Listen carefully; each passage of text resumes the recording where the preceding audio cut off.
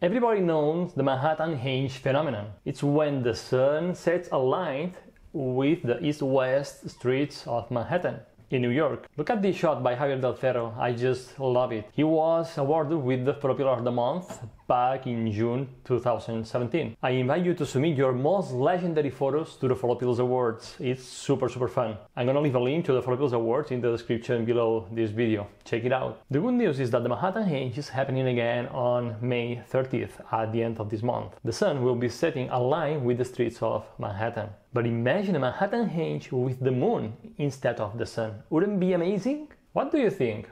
Is it possible? Will it happen? Let's figure it out.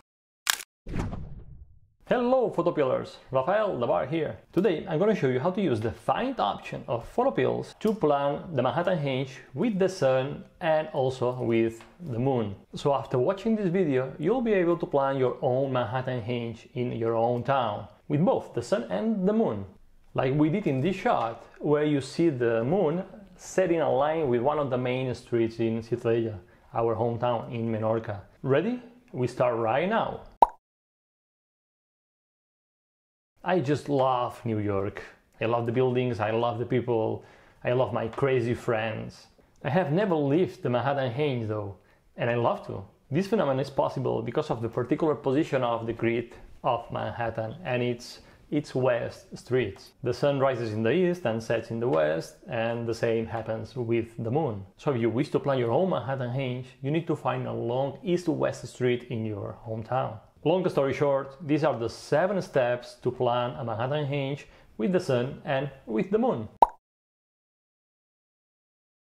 Step 1. Place the red pin in the shooting spot. This is the typical example where you know your shooting spot and want to find the right shooting date and time. The sun or the moon will be where you want in the sky. In this case, setting a line with one of the streets in Manhattan. So the first thing is to place the red pin in the shooting spot. To do it, just go to Photopills, tap on Planner, and as you see, the red pin is in Menorca, our beautiful island, and I need to place it to New York. To do it, tap on Load and type New York. New York. And tap on the result and the red pin is placed right in Manhattan here in New York. Now you can plan the Manhattan Henge with the street you want. The 14th, the 34, the 42nd, the 57 and the 79 are very good streets for the Manhattan Henge. In this example, I've decided to plan the Manhattan Henge from the 6th Avenue along the 42nd Street. So let's find the intersection of the 42nd with the 6th Avenue. I'll zoom in, and because I'm using the hybrid uh, Google Maps. I can read the streets numbers and the avenue numbers. So here is the 6th Avenue and the 42nd is right here. Cool. I'll zoom in the intersection. And now, an easy way to plant the red pin where you want is just tap and hold, do a long press on the spot you want to leave the red pin. So I'll just tap and hold here in the middle of the crossing, right in the middle of the street. Now I can adjust a little bit its position. I will just drag and drop it right here, right in the middle of the street. Cool. Step 2. Place the black pin right where you want the sun or the moon to be. Let's begin with the sun. I want to plant the sun setting line with the 42nd street. So the first thing I need to know is if there is anything blocking the horizon at the end of the 42nd Street, at the other side of the Hudson River. Let's check it with Google Street View. Go to Google Maps, find the 42nd Street, zoom in right at the end of the street, and take the little man and drop it at the end of the street to have a view of the Hudson River and the other side of the river. Have a look at what's going on here. As you see, there is this hill that's blocking the horizon. So when planning the shot, I'll have to take into account the elevation of the terrain. So I make sure that the sun is visible above the terrain. To do so, I'll place the black pin right on top of the hill in a way that's aligned with the 42nd Street. Let's do it. Let's zoom out a bit in order to see the red pin and the other side of the river like this and now I'll make the black pin appear. Just swipe to the right until you find the second top panel and tap on the button you see on the panel to have the black pin on the map. Now drag and drop it and try to place it on the hill in a way that's a bit aligned with the 42nd Street. I'll zoom in to see if I'll get closer to the 42nd Street more or less. I think this is the hill. Let's check very quick if the black pin is aligned with the 42nd Street. Zoom in here. Well, more or less it, it is aligned. Maybe I'll have to move it a little bit more to the left to have it in the center. So I'll go back to the pin and try to move it a bit here. Yeah, I think this works. Now I have to find the top of the hill. I need to place the black pin right on top of the hill, on the highest point of the hill. To do it, pay attention to the top panel. On it, you see the altitude difference, both in meters and in degrees of elevation. For this position of the black pin, the top panel is telling me that the terrain altitude difference is 0.54 degrees. All I have to do to find the highest point is to keep moving the black pin with an eye on the top panel and see how the terrain elevation difference changes. So here it's 0.54 degrees. I'll move it a little bit higher. Here's 0.58, it goes up. 0.57, a little bit down. Even further down. So in this case, my top of the hill was the 0.58 more or less uh, right here. Pretty cool. As you've seen, it's pretty easy. All you have to do is to keep moving the black pin until you find the highest point of the hill in this case. The panel 2 above the map is also telling you the size of the sun and the moon when aligned with the black pin. If I align the sun with the black pin, so when it's setting more or less, you see that the panel is telling me the size of the sun. In this case is more or less 31 meters of diameter. This means that if you want the sun to be kissing the ground level of the hill, the center of the sun has to be half of the diameter above the hill. And half of the diameter in this case is more or less 16 meters. So the center of the sun has to be 16 meters above the ground level of the hill, the ground level of the black pin. Keep in mind the 16 meters because we'll need this number to assess the elevation of the sun we need. Fantastic! Now if I can find the date and time the sun is aligned with the black pin and kissing the ground level where the black pin is, right top of the hill, I'll have my Manhattan Henge shooting date and shooting time. Let's use the find option of PhotoPills to figure out. Step 3. Tap on Find choose sun and set the date range. Let's find the shooting date and shooting time. Tap on find and here tap on sun at azimuth and elevation on iOS. On Android just tap on sun, it is the same tool. So tap on it and in this screen if I can tap the search button, I have to tell PhotoPills three things. The day range I want PhotoPills to look for results and the position of the sun. This is the azimuth and the elevation. Let's set the day range first. Tap on date range tap on the start day and tap on today because I want to start planning today. And now at the bottom you can set to look in one year. Well, one year. I just told PhotoPills to look for results from today in one year. So when ready, tap on done to go back to the previous screen. On Android, tap on the back arrow. Step 4. Set the azimuth of the sun. The good news is that the yellow pin you see on the map is linked with the black pin so the azimuth of the sun is already set. In this case, it's 299.1 degrees, plus minus a tolerance, an error, 3 degrees. The tolerance allows me to find more results because PhotoPills will be looking for days and time the sun is in the desired azimuth plus minus the tolerance within this yellow sector you see here. But in this case, as you see, the tolerance is far too big I need the sun to be really aligned with the streets of Manhattan, with the 42nd Street. So I'll use a smaller tolerance. To change the tolerance, tap on numeric and tap on error and let's set 0.25, a really small tolerance. Yes, this is much, much better because now PhotoPills will look for results when the sun is really aligned with the 42nd Street. Results within the yellow sector you see on the map, which is narrower than the street. Step 5.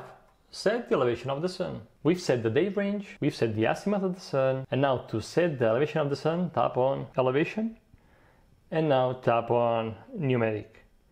I'm looking for a sun aligned with the 42nd Street and kissing the ground level of the hill. Do you remember the size of the sun? It was 31 meters, so the radius is more or less 16 meters. So I need the center of the moon to be 16 meters above the ground level of the hill. This is above the ground level of the black pin. So plug 16 meters as the apparent height above the yellow pin, which is linked with the black pin. Tap here and plug 60 meters. And the elevation angle is automatically calculated. In this case, it's 0.84 degrees. So the center of the sun has to be at 8.84 degrees more or less to have the sun kissing the ground level. Now I want to be really precise with the elevation, so I'll reduce the error from 0.5 to 0.25 and we're ready to start the search. Step 6. Tap on search to find all the possible dates. Now we have it all set, the day range, the azimuth and the elevation. So tap on the search button to get a table with all the dates and times the sun will be where we want it to be within the search parameters. Remember, I need the elevation of the sun to be around 0.84 degrees. So having a look at the table, I see that Thursday, May the 30th, at 12 minutes past 8 p.m., the sun will be more or less in the elevation we need. Let's have a look what's going on on May the 30th. Uh, tap on the date to see it on the planner. The top panel is telling me that the center of the sun is at 14.3 meters above the black pin and I want it to be at 16 meters so I'll move time backwards a little bit do a long press on the center of the time bar to move time slowlier and move time backwards until the number changes to 16. Got it! Now the center of the sun is at 16 meters above the black pin and this happens at 11 minutes past 8. There is not a big change. So I think I have the shooting date and I have the shooting time. Let's check that the sun is aligned with the street, with the 42nd street. Yes, it's pretty cool, pretty aligned with the street. So my friends, I can conclude that the Manhattan Henge is happening on May the 30th at the end of this month at 11 minutes past 8 p.m. How cool is that? If you're in New York, get there on time. Let's plan the same shot with the moon. Let's plan the Manhattan Henge with the moon. Step 7. Planning the Manhattan Henge with the moon. Once planning with the sun, planning the same shot with the moon is straightforward. Tap on find and cancel the search. Tap on find again. Now choose moon at azimuth and elevation or moon on Android. The moon is less predictable than the sun. So to make sure I find results, I'll change the date range from one year to two years. So tap on date range and change it to two years. Cool. Now, because of the sun and the moon have similar apparent sizes, and I want the moon to be at the same position I want the sun to be, the azimuth and elevation are already set. So tap on search to get the table of results. And now I like to tap on phase twice. So I have the full moons first. You have a cool few options depending on the moon phase you want and the light you want, the natural light you want. Let's check the first result. This is uh, January 28th, 2021 at 7.14 am.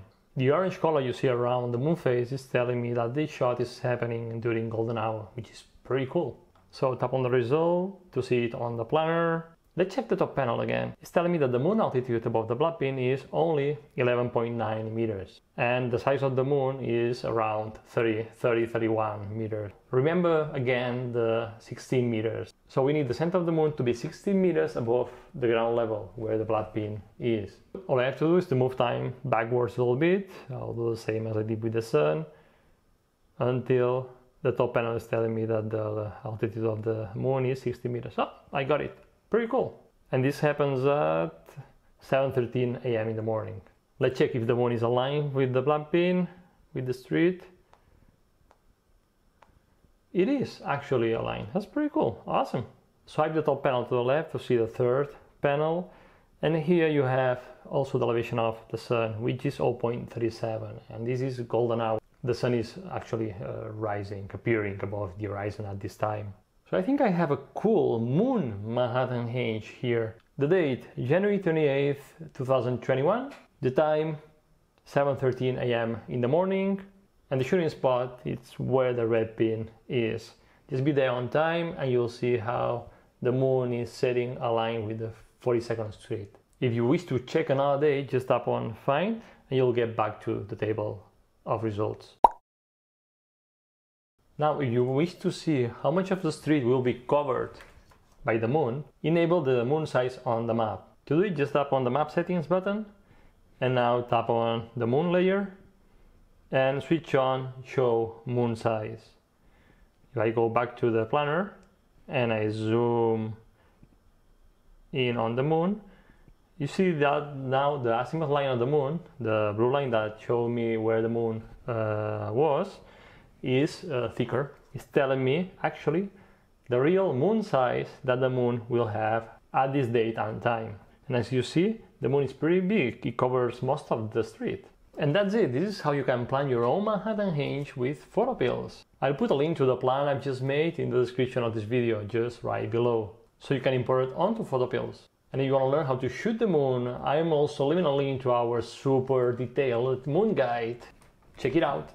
Now tell me, what problems do you have when you're planning the sun or the moon? Just comment below, I'm ready to help. And if you go and try to capture the photo I've just planned, maybe you'll find me there. Let me know, I'm waiting for your comments. And as always, if you go to capture it, leave no trace. Let's take care of the planet. In the next video, I'm gonna plan another legendary shot, so don't miss it. Subscribe and click all the bells to get notified when I release it. See you in the next video. And remember that you have the power to imagine, plan and shoot legendary photos. Bye.